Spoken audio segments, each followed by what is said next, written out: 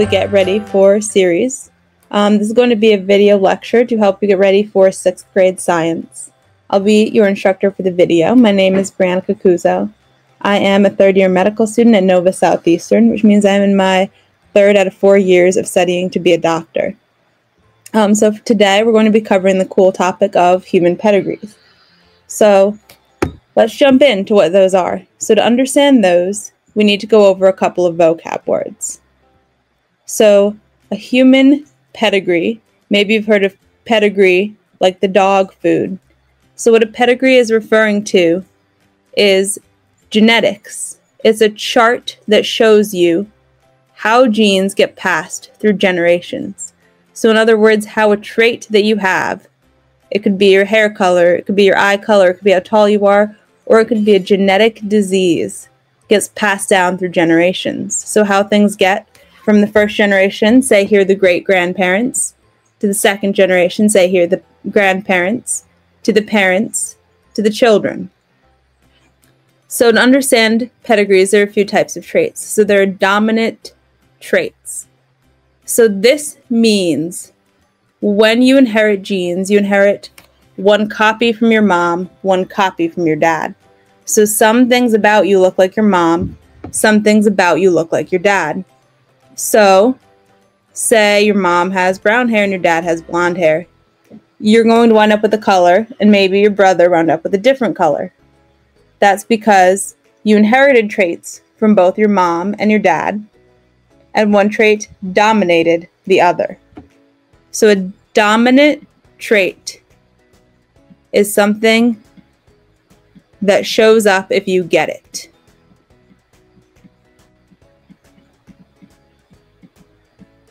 So basically, if you get one copy of that gene, so if you get it from your mom or you get it from your dad, you show that gene. And there's a disease that we'll be talking about a little bit later today that follows a dominant pattern. And that disease is called Huntington's disease. Huntington's disease is, is that it's a movement disease and it's a cognitive disease. So that means that people lose the ability to control their movements, their arms and legs and things move without them telling them to. And they lose their ability to think and remember. So they have difficulty with memory, they have difficulty with reasoning and problem solving. A recessive trait is one that shows up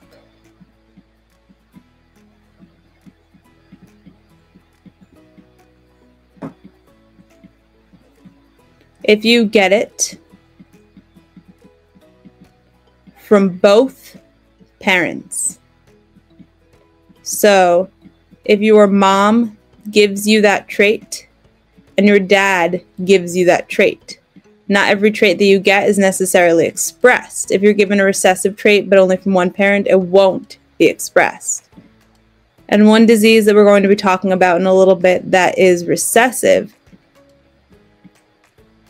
is a disease called hemophilia. And hemophilia is a bleeding disease. It's a disease where if you get a cut or you get some type of injury, your blood doesn't clot well, or in other words, you don't form a good scab to help you stop bleeding.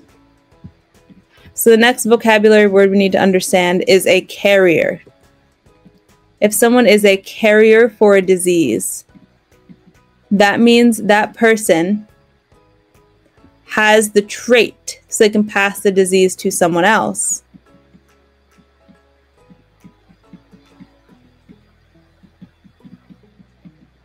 But they don't have the disease.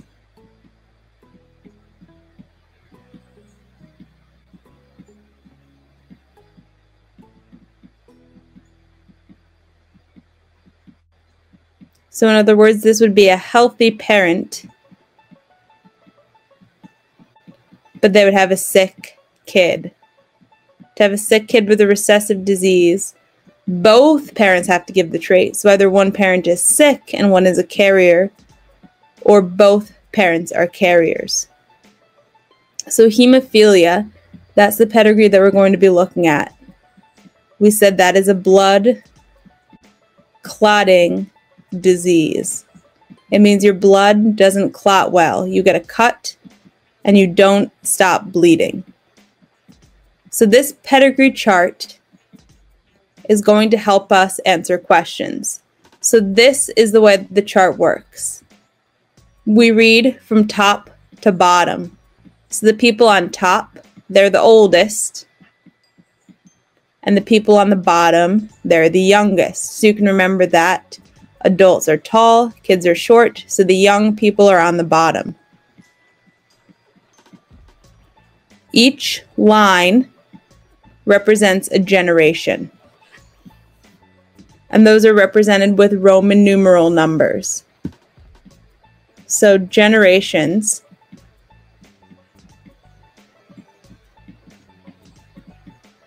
go down. So they count down generation 1, Generation 2, Generation 3, Generation 4. In each row, that includes the people in this generation. So the people are labeled with an Arabic number, meaning a normal one, two, three.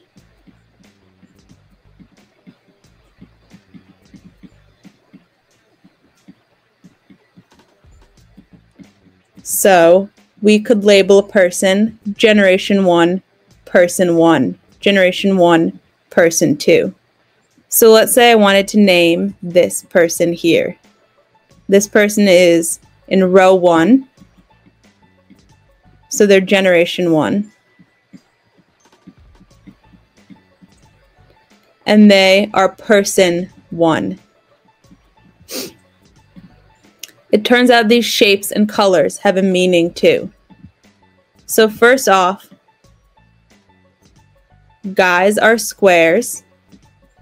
So if you see a square like this, it's a male.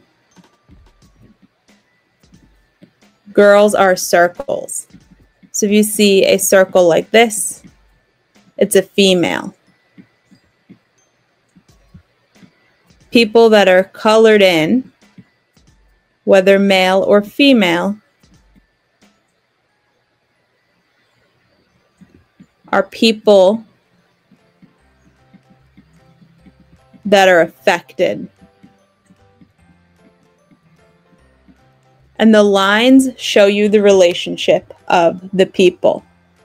So if you see a line like this within the same generation, connecting two people to each other, those two people are married.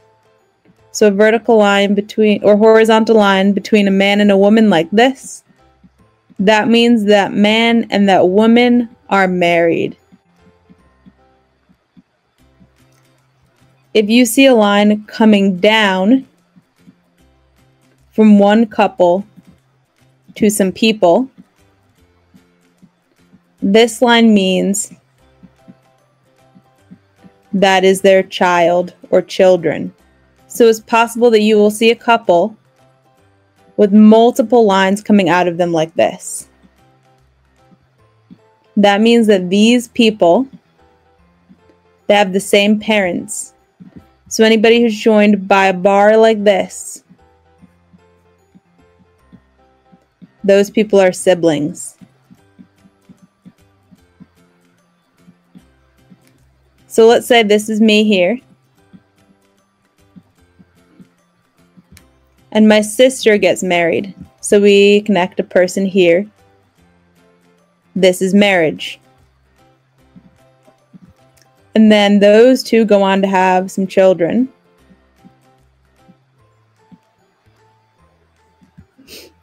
These are my nieces and nephews. And let's say I go on to have some children too. These people here, they're not tied together, but they're in the same generation. So these people here are cousins. These people here are siblings again.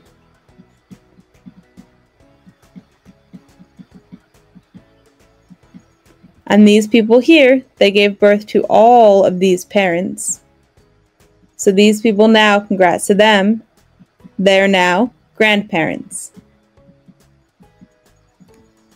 So we can use a pedigree to find out a lot of information.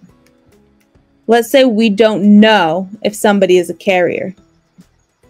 So we know that this person is not sick. We know that this person is sick. This person has hemophilia because it says a pedigree, a square represents a male. If he is darkened, he has hemophilia. So this person, we know he has hemophilia. These people we know do not. But they have a child that does. If they have a child that does, that means both of them had to have given one trait for hemophilia to this child. That means we can definitively say that both of these two people they are carriers. So they have the possibility to give the trait to someone. You may see on a pedigree a carrier represented as a person that is half shaded in.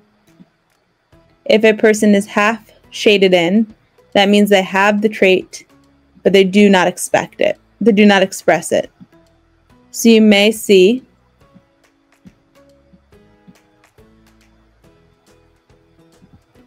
something like this.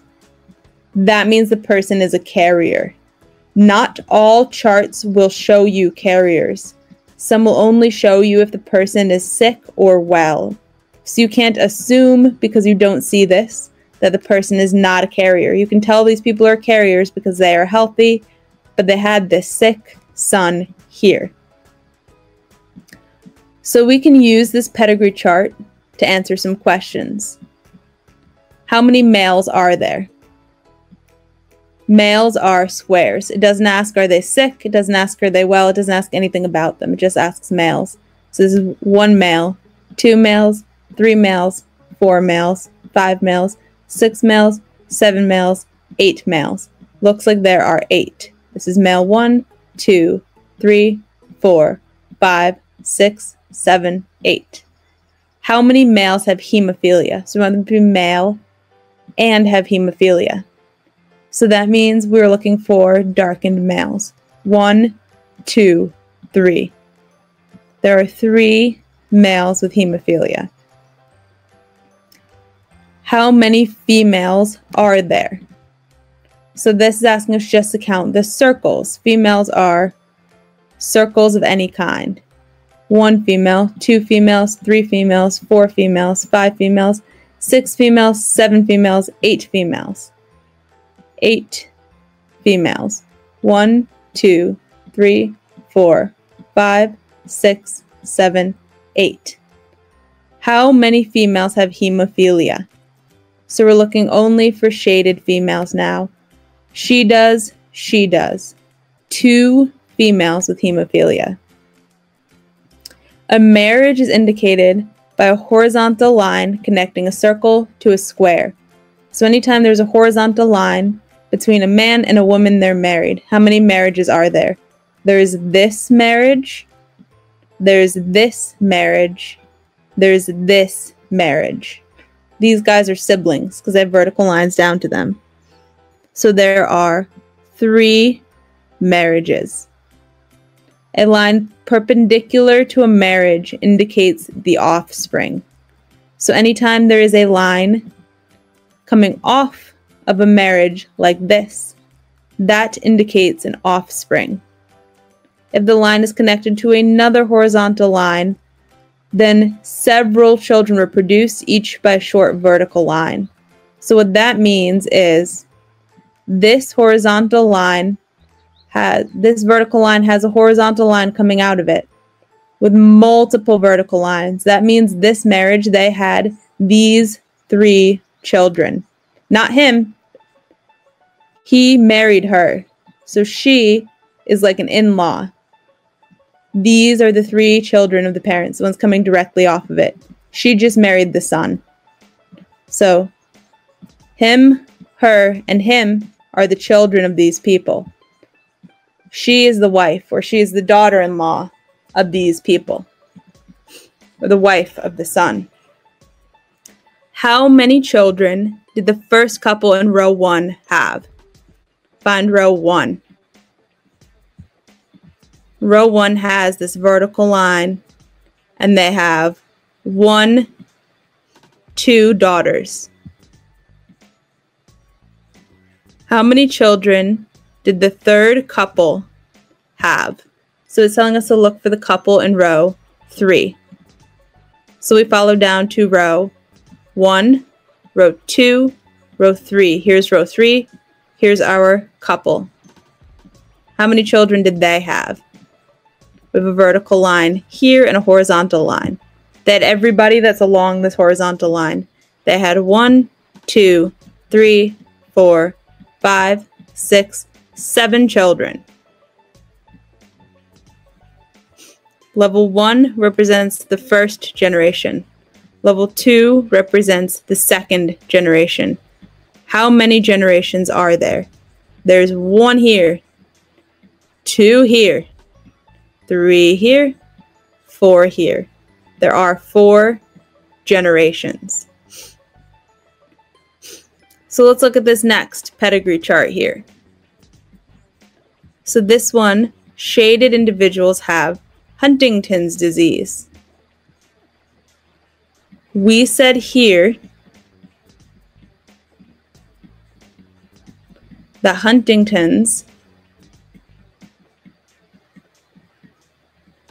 was a disorder having to do with both thinking and moving.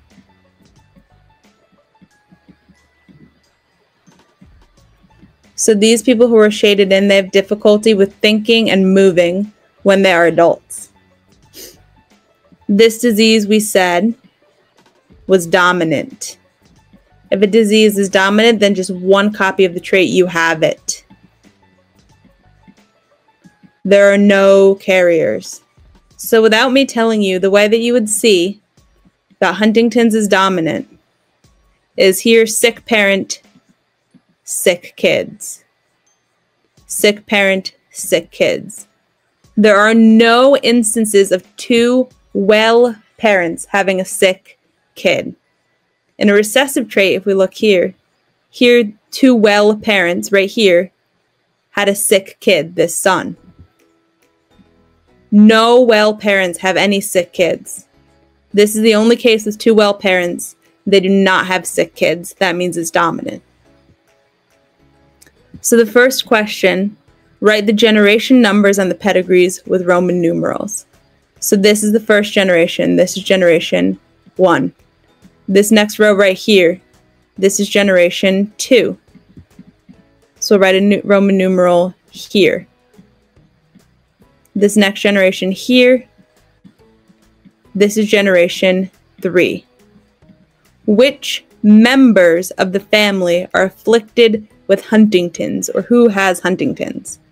So to answer that, we have to count the people in each generation. So this is person one in this generation.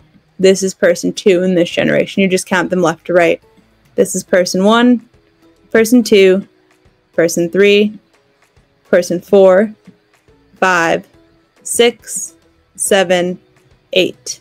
This is person one, two, three, four, and five. Who is afflicted? I need to name all of the people that are afflicted. So, person, generation one, person one is afflicted. Here, generation two, person two is afflicted. Generation two, person three is afflicted. Generation two, person seven is afflicted. Generation three, person three is afflicted. Those are the sick people. There are no carriers for Huntington's disease. You either have it or you don't. So if you have the trait, you get the disease. Based on that, it is dominant because you only need one trait to show the disease. We had carriers with hemophilia. That's because hemophilia is recessive. How many children did individuals 1 and 2 have? So here we're looking at 1 1 and 1 2. Here's individual 1 1. Here's individual 1 2. We want to look at their children. So we want to see the horizontal line coming out of them.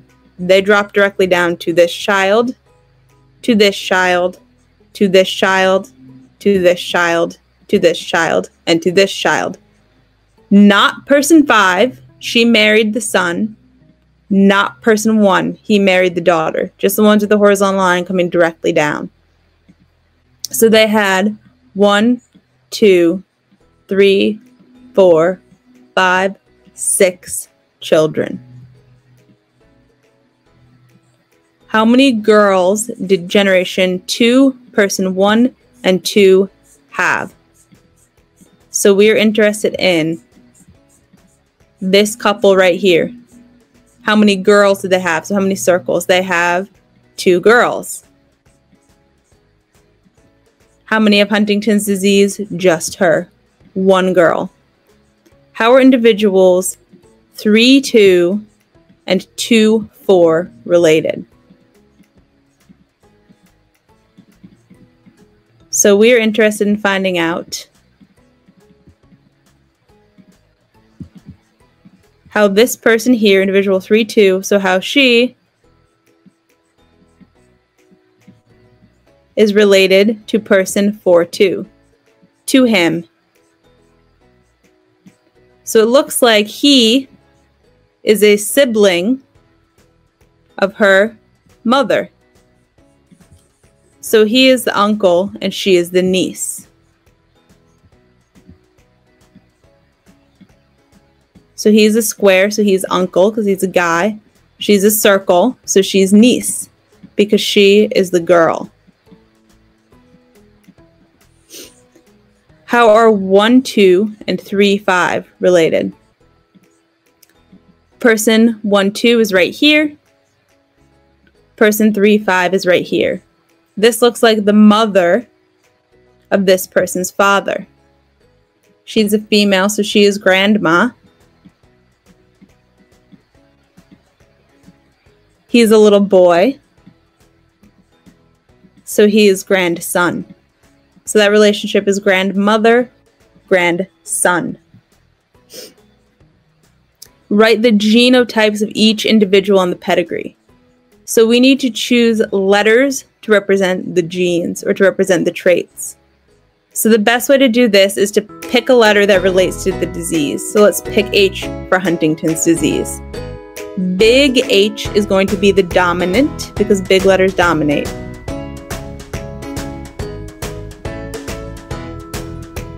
Little h is going to be the recessive because it's less dominant. So somebody who has Huntington's is going to be big H. And because he is able to have well children, he must have the normal trait. Otherwise, if he had two copies of the Huntington trait, he would give that either way. So he must have big H and little h. Anyone who is well is automatically big H and little h. So this is person 1, 1. This is person 1, 2. So this person was big H, little h. This person was little h, little h. Anybody who's well definitely does not have the trait for Huntington's disease. So anybody who is well, we can automatically say little h, little h, little h, little h little h, little h, little h, little h, little h, little h, little h, little h, little h, little h, little h, little h, little h, little h. Anybody who is sick, they have to have the gene for Huntington's, but they have one well parent. So this person must have gotten this big H from dad, little h from mom. Same thing, big H from dad, little h from mom. Same thing, big H from dad, little h from mom. This one, the mom was one with Huntington, so big H from mom, little h from dad. It doesn't matter who gave which gene, you're always going to write the dominant before the recessive. So person 2, 1 was little h, little h. Person 2, 2 was big H, little h. Person 2, 3 was also big H, little h. They had Huntington's. Person 2, 4 was also little h, little h. Person 2, 5 was little h, little h. Person 2, 6 was little h, little h. Person 2, 7 was big H, little h. Person 2, 8 was little h, little h. Almost there. Person 3, 1 was little h, little h. Person 3, 2 was little h, little h. Person 3, 3 was big H, little h. Person 3, 4, and 3, 5 were both little h, little h. So of the day, anybody sick, they have a big H and a little h. Anybody well, they have two little h's. All right, guys, so hopefully that was helpful in learning how to read pedigrees. Sixth grade is a super fun year. There are lots of new, super cool concepts. Now that you know so much about pedigrees, there's so much other cool stuff in science to learn about. So definitely check out the rest of our Get Ready For series. There's other stuff. There's English, there's math, there's social studies. Um, there's lots of other science content. So check that out and ask mom and dad to help you come online, sign up, get some tutoring, and uh, see what else you can learn. Have an awesome sixth grade year and hope to see some of you for tutoring.